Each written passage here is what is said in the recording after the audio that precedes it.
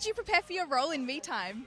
Oh gosh, well, I did watch all of John Hamburg's movies, who I'm a big fan of, and I saw that he's a great blend of narrative and improvisation and, and cheerful and, and full of heart. And then I also watched all of Kevin's comedy also, and I've already and I've seen a lot of Mark's things, and so that's how I prepared. And then I also worked out a lot, so I could do a lot of physical comedy in the movie.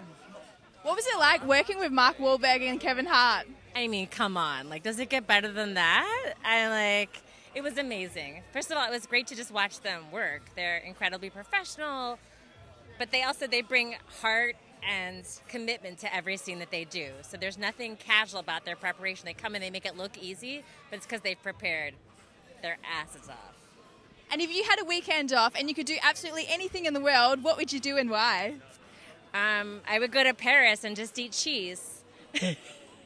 and why? Because cheese is delicious in France. Yes, that would be my weekend.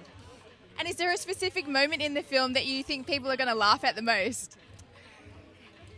I think there are many funny moments. I mean, I like to think that Kevin's parent friends are the funniest, best moments. So that's all I'm going to say, but I can't give any spoilers. Welcome to Fab TV. Look at Hollywood's latest. See all the red carpets dressed to a T. Yeah, you know me. It's all free.